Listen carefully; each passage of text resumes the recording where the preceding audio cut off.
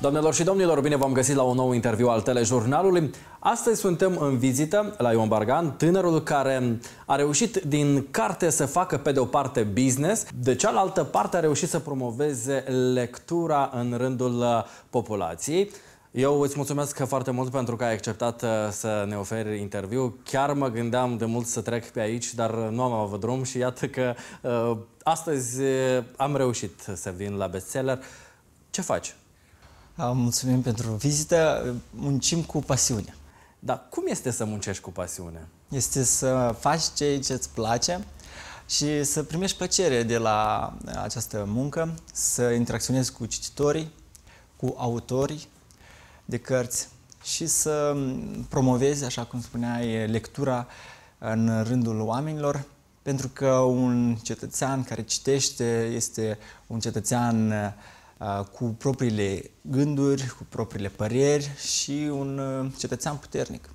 De ce te întrebam că cum este să faci muncă din pasiune? Pentru că de foarte multe ori vedem pe rețele de socializare, uh, la evenimente, în localuri, multă lume se plânge că nu reușește sau merge la serviciu din obligații. Um, noi suntem meșterii vieții noastre, da? Și um, maestrii vieții noastre și noi ar trebui să o să sculptăm această viață, să o, să, facem, să o facem așa cum o vrem noi. Bineînțeles, se muncește mult, pentru că și eu am muncit 5 uh, ani de zile pentru ca acum să pot să am uh, mai mult timp liber. Pentru că inițial, când dezvolți o afacere, practic lucrezi 24 din 24. Uh, te culci târziu, te trezești de vreme, um, ai multe dificultăți. Însă, uh, cum spunea William Shakespeare, pentru a ajunge cineva trebuie să începi prin a fi nimic. Uh-huh. Și este un drum uh, anevoios, însă care apoi îți dă roade. Hai să începem uh, cu începutul, dacă pot să-i spun așa. De unde ți-a venit această idee să pui pe roate o asemenea afacere uh, și de ce a fost nevoie? Ca să apară pe piața la noi în Republica Moldova, iată, o librărie de genul pe care o dezvolți tu? Mm-hmm. Uh, analizam uh, mai multe oportunități de afaceri. Eram uh, în uh, anii de studenție, facultate de drept, țin minte dreptul antreprenor- antreprenoriatului și în timp ce mă pregăteam pentru ore, notam uh, diverse idei. Cel mai mult m-a entuziasmat ideea unei librării online, ideea de a lucra cu cărțile, cu uh, literatura și am uh, început să fac acțiuni, să mă interesez ce este necesar pentru aceasta și uh, peste câteva luni am lansat. Îmi amintesc că am, am procurat domeniul, denumirea site-ului de ziua mea de naștere. Mi-a făcut un cadou. A fost cu noroc? Da. Iată, după 5 ani este deja practic un brand care lumea cunoaște. Da, tu mergi des în localități, discuți cu bibliotecari sau mergi la librării în centrele raionale să vezi cam cum este situația, să tatonezi terenul, să te documentezi? Avem o relație frumoasă cu Asociația Bibliotecarilor și sunt invitat uneori la discuții cu bibliotecarii din uh, diverse raioane. Îmi amintesc că am fost la Strășeni, de asemenea, mă mai duc atunci când o bibliotecă locală procură cărți uh-huh. de la noi. Mă duc uneori, am fost, mi-amintesc, în Ștefan Vod, în Căușeni și prin, prin centrul țării. Mă voi duce mai, mai des pentru că vreau să ascult, să înțeleg mai bine subiectul acesta. Uh-huh. Și eu cred că se cere o investiție cât mai bune în biblioteci, pentru că dacă să o luăm așa, în sate sunt, nu sunt atât de multe locuri în care să petreci timpul. Dar dacă este o bibliotecă bogată, cu activități, pentru că o bibliotecă trebuie să fie activă, să se facă mai multe ori pe săptămână diferite activități. Atunci oamenii se vor duce acolo. Eu mi-amintesc că când am mai fost peste hotare, în Finlanda, am fost impresionat în, într-un mall dintr-un oraș din uh, Finlanda, la un etaj superior era bibliotecă de stat. Uh-huh. Cu reviste, cu cărți, cu activități. În bibliotecă oamenii erau, puteau să învețe cum să coase la mașina de cusut, cum să lucreze, prelucreze lemnul. am fost impresionat că aceste lucruri se învață în biblioteci la ei.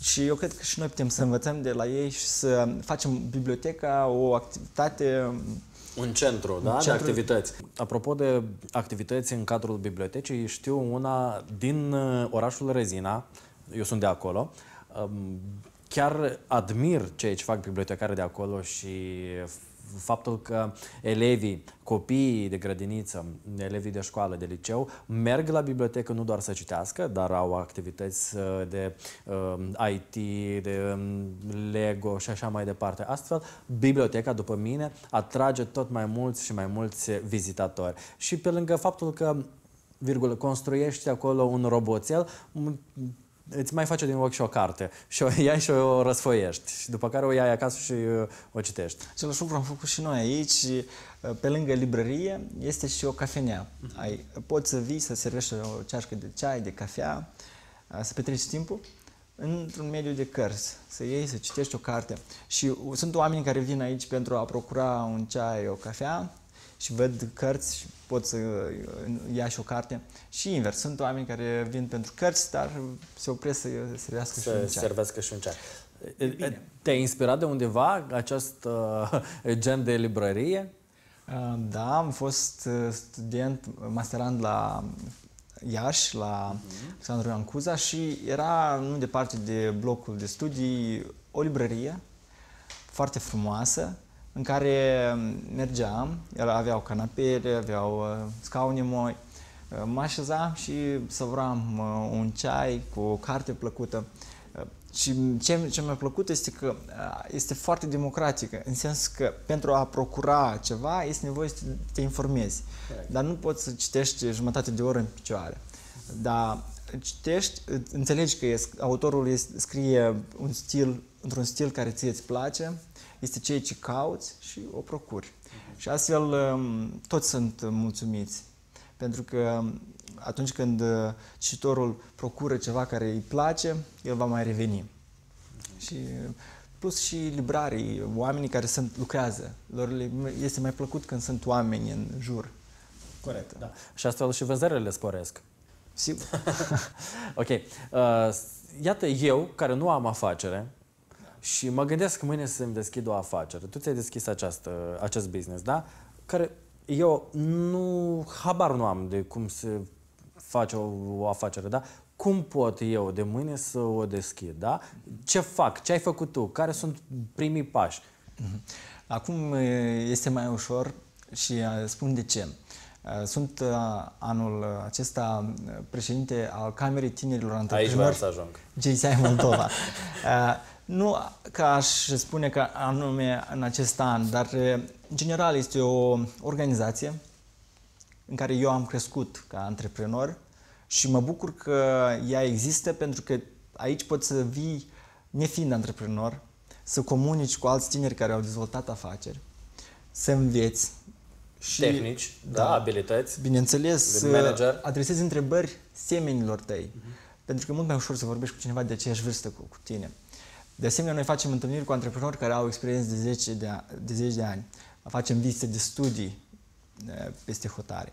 Și înveți toate, toți pașii și lansezi afacerea. Eu am lansat-o nefiind membru în această organizație, în Camera Tinerilor Antreprenori JCI Moldova, însă dacă nu aș fi fost nu aș fi început GCI ar fi fost o alegere foarte bună pentru că mi-a oferit uh, multe cunoștințe practice uh-huh.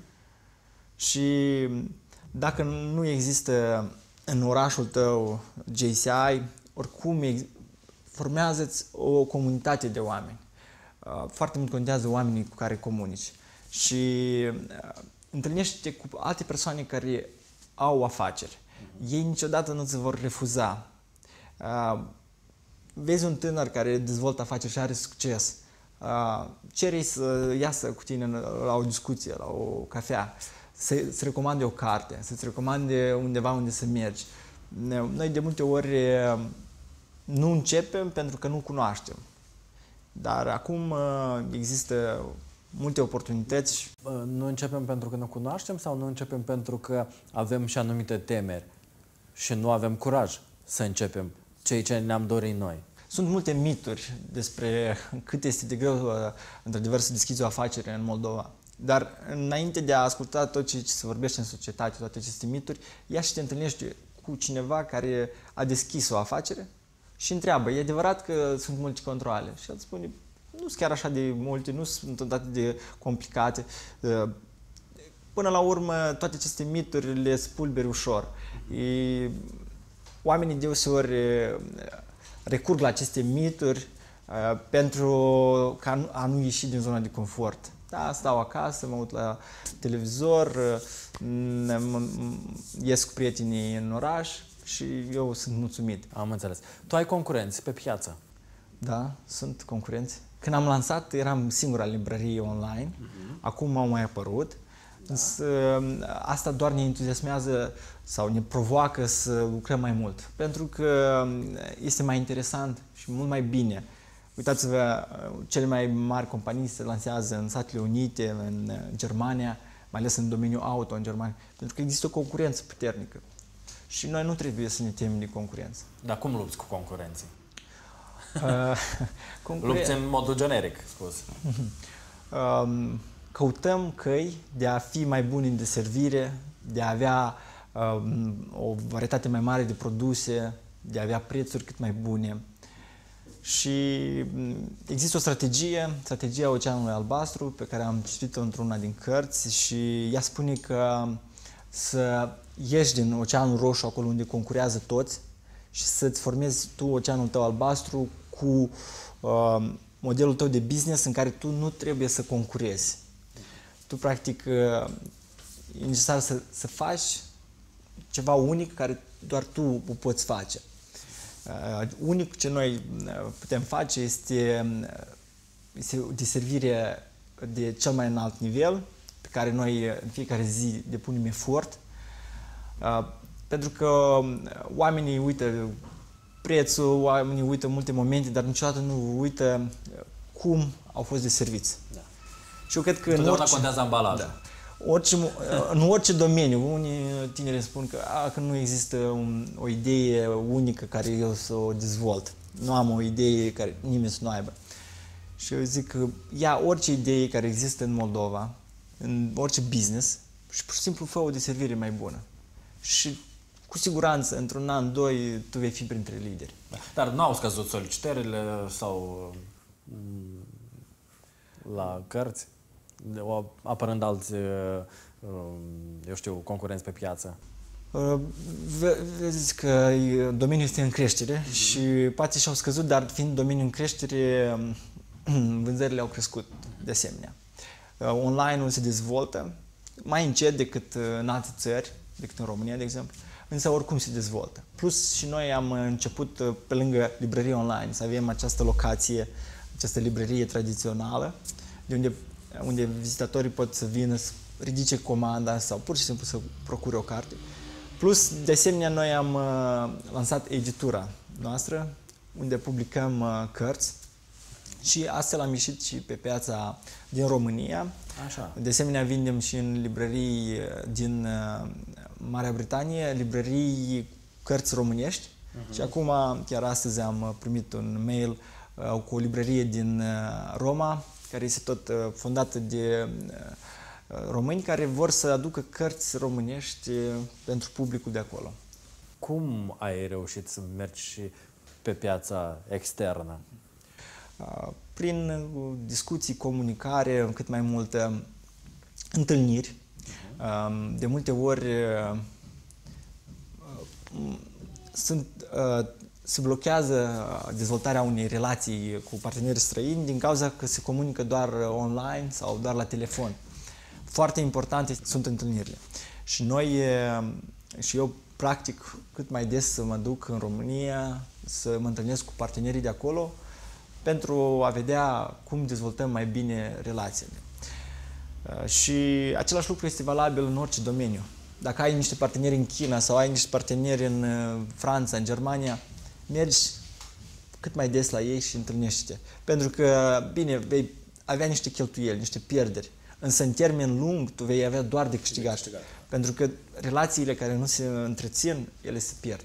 Am înțeles. Uh, spune-mi, te rog frumos, ce titluri de carte sunt cele mai solicitate astăzi în Republica Moldova, și anume la librăria ta? Mhm. Printre cele mai uh, căutate cărți sunt romanele, în special uh, romanul 3 metri deasupra cerului de Federico Mocea, pe care noi îl lansăm uh, săptămâna viitoare.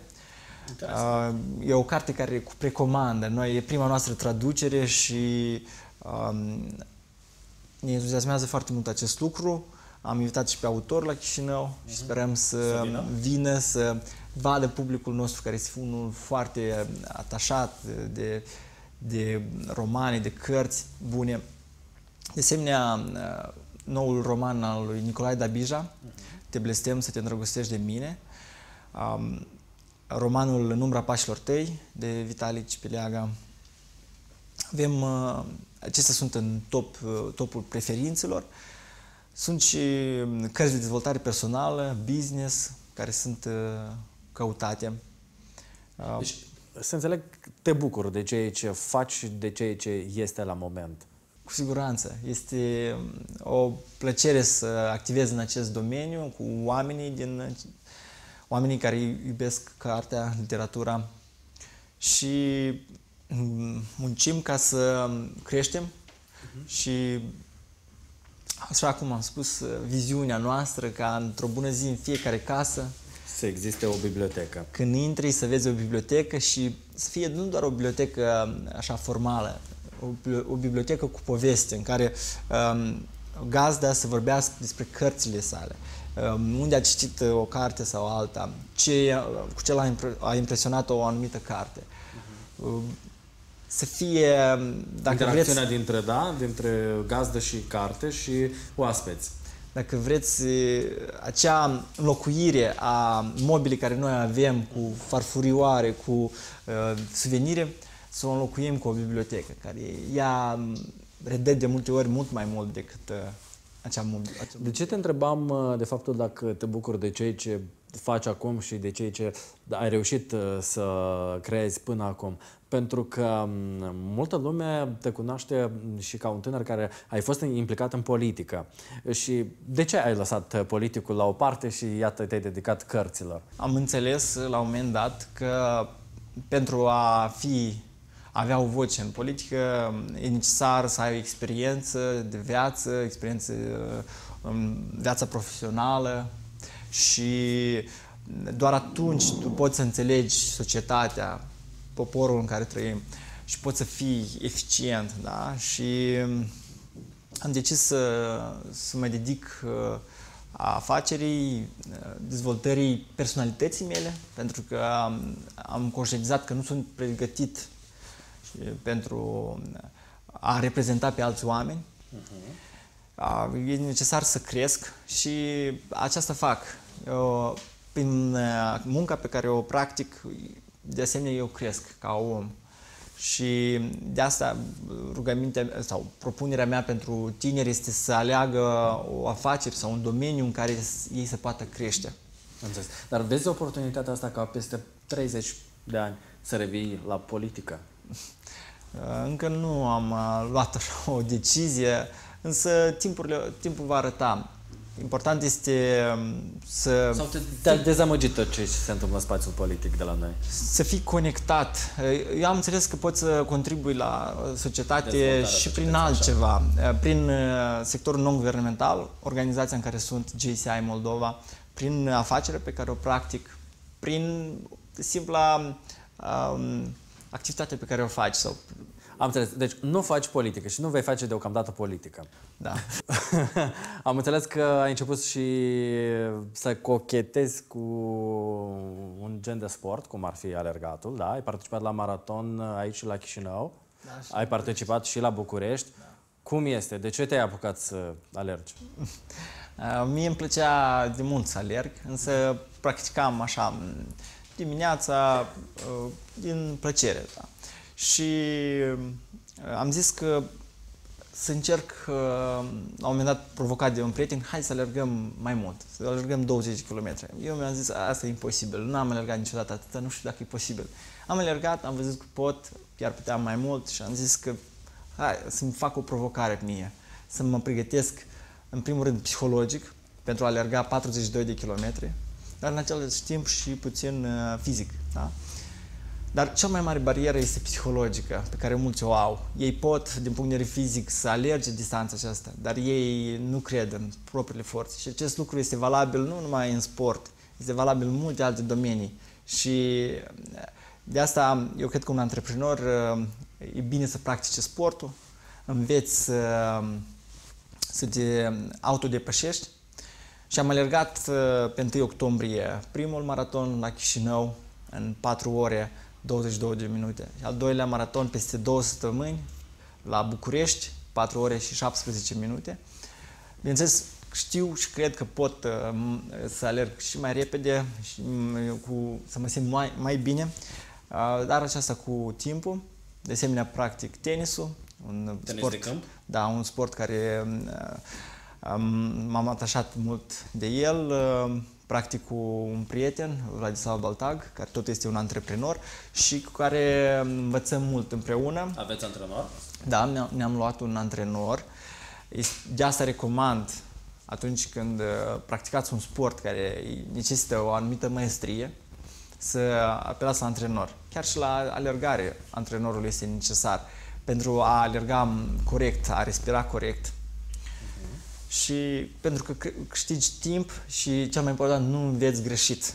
Pentru că de multe ori a dezvăța ceea ce am învățat greșit e mai greu. Cu sportul ne-am înțeles și mai ai tu o pasiune recentă, vloggingul. Da. Da? Unde mergi, unde te afli, filmezi, te filmezi, filmezi personaje, eroi. De ce te-ai apucat și de asta? Da, fac uh, Eu știu că e la modă. vlogging zilnic uh, pe YouTube și Facebook, de asemenea adaug uh, videourile. Uh, am uh, luat, tot a fost o provocare să comunic într-un alt mod cu, cu oamenii, să arăt uh, ceea ce fac în timpul unei zile și astfel să motivez pe alți tineri să-și ia soarta în mâini și să acționeze le arăt că se poate să fii un om activ, să reușești și să, să-ți realizezi obiectivele sau visurile pe care le ai. Și aceasta de asemenea mă motivează și pe mine să fiu în fiecare zi productiv, activ, pentru că știu că sunt oameni care mă urmăresc și am ceva să le comunic. Mhm. Dar când îți este lene sau nu ai timp de lene? Asta este și provocarea, este să fii în fiecare zi la maxim și să, să reușești să Demonstrezi că ești cel mai bun. Să transmiți um, energie, să transmiți pasiune. Um, uneori, într-adevăr, te simți poate nu prea bine, însă când știi că sunt oameni care uh, te încurajează, te susțin în ceea ce faci, asta te, te inspiră. Este ceva care, care este și în viață. Susținerea oamenilor din jurul tău, familiei, prietenilor, are un efect foarte puternic. Cu vlogul mai am pe lângă aceasta și o comunitate, oameni care mă încurajează. Și practic îmi dă aripi să zbor. Da. Reacțiile sunt pozitive, da? Da, am reacții pozitive de la urmăritori. Uh-huh în mare parte am început cu cei pe care mă, îi cunosc, dar apar și oameni care încă nu-i cunosc și care abia urmează să îi descoper, să mă întâlnesc cu ei, să-i cunosc. Îți dorești să faci bani și din asta? Nu, nu asta a fost un obiectiv, uh, însă vreau ca cei ce fac să inspire pe, alt, pe alți oameni să își realizeze visurile, să facă uh, bani dacă uh-huh. este pentru că banii sunt o energie și pot ajuta pe alți oameni și pe mine personal să ne atingem obiectivele, visurile pe care le avem. Eu am înțeles, eu îți mulțumesc foarte mult pentru această discuție interesantă, motivațională și care eu cred cu siguranță uh, va inspira și pe cei care ne-au urmărit. Îți doresc uh, mult succes în continuare și uh, să prosper în, pe calea pe care, iată, ai început încet, încet să avansezi, pentru că după mine, tinerii de astăzi merită să fie promovați și merită să-și dezvolte propriile abilități, aptitudini în orice domeniu de activitate nu s-ar lansa ei. Și te mai aștept la TVR Moldova să mai discutăm și despre alte realizări pe care le vei uh, avea în viitorul cel mai scurt sau uh, îndelungat. Mulțumesc, Vitalie! Doamnelor și domnilor, vă mulțumesc și dumneavoastră pentru că ne-ați urmărit. Eu vă dau întâlnire și duminica viitoare la aceeași oră 18.30 la un nou interviu al telejurnalului. Până atunci însă să aveți parte de o seară minunată alături de cei dragi. Toate cele bune!